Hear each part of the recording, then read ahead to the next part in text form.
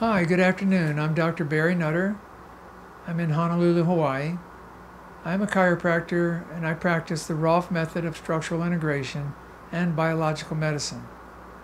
I'm going to share with you today a few case studies one of pancreatic cancer, the other one of HIV, a full blown AIDS case that was made better by the use of the beam ray.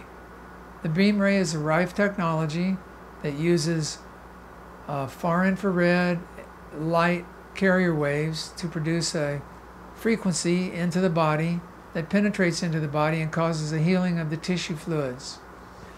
This first case I'm going to share with you is from a woman named Corrine, her last initial P. Her weight was 126 pounds and she's 5'1.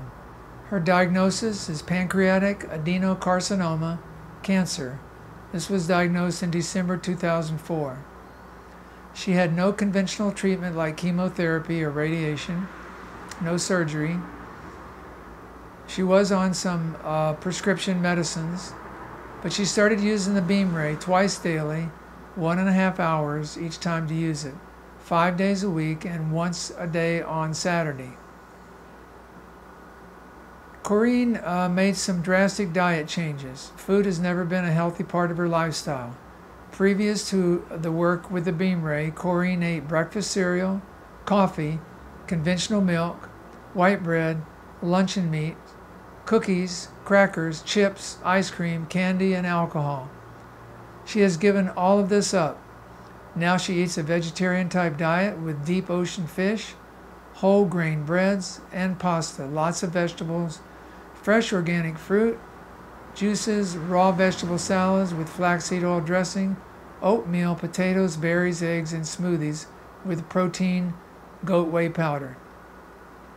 For supplements, she takes pancreatic enzymes as a primary supplement, homeopathic drainage remedies, probiotics, trisalts, Pancreatrophin by standard process, cod liver and flaxseed oil, betaine hydrochloride, liquid fulvic minerals, and liquid multivitamins. She has a coffee enema or a colonic two to three times daily. And she has been taking uh, infrared saunas a day daily. Her current health, her current health status. She was diagnosed with pancreatic cancer on November 9, 2004. She chose not to do chemotherapy, and her tumor, tumor was determined inoperable. She chose the Beam Ray and Enzyme program and has enjoyed a full and active life for a year. She walks two miles daily, continues to remain involved in her church, and has four grown children who actively participate in her healing program. Corrine is a wonderful testimony for what can be accomplished when a complete healing program is implemented immediately without chemotherapy involvement. She continues to feel well and has not deviated from her Beam Ray program since first implementing it in February of 2005. Now I'm going to share with you another case study of a fellow that I actually personally met. Uh, his name is Jerry and last name initial K. His story is in the book Resonance, written by Dr. Alex Dwordy. We had a, a three-year study done in the West Hope Memorial Hospital in Nebraska where we had patients come in only for pain. Many of the patients who came in for pain had other disorders or diseases, but we were looking to help them with their pain. This fellow here named Jerry K also had pain, and I'm just going to read you a little bit of his lab report. Uh, I didn't see him until after his healing, and he looked like a miniature Arnold Schwarzenegger was built up from using weights and working out at the gym. But before he uh, was healed, before he used the beam ray, he had lost 50 pounds. He could hardly make it up a flight of stairs, and he had scabs and sores all over his body from uh, herpes and the the uh, complications of Kaposi sarcoma on the skin from AIDS. In Jerry's uh, report, that's shown here in the book, his blood report showed with before he started the beam ray treatment, his CD4 count, which is your killer cell count, shows how much ability your killer cells have to fight off a virus or a condition. His killer cell count was 11.